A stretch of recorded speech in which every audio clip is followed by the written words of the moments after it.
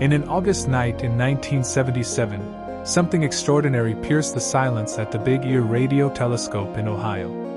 A signal, unanticipated and powerful, emerged from the depths of space. This 72 second burst of radio waves was 30 times stronger than the background noise, mystifying astronomers.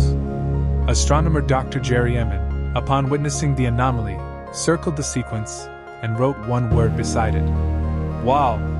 Originating from Sagittarius, its nature sparked global curiosity. Was this a greeting from an alien world or a cosmic phenomenon yet unknown? The WOW signal, from the cosmos, stands as one of astronomy's most captivating unsolved mysteries despite advancements in technology. This short cosmic whisper challenges our understanding of the universe and keeps alive the tantalizing question Are we alone?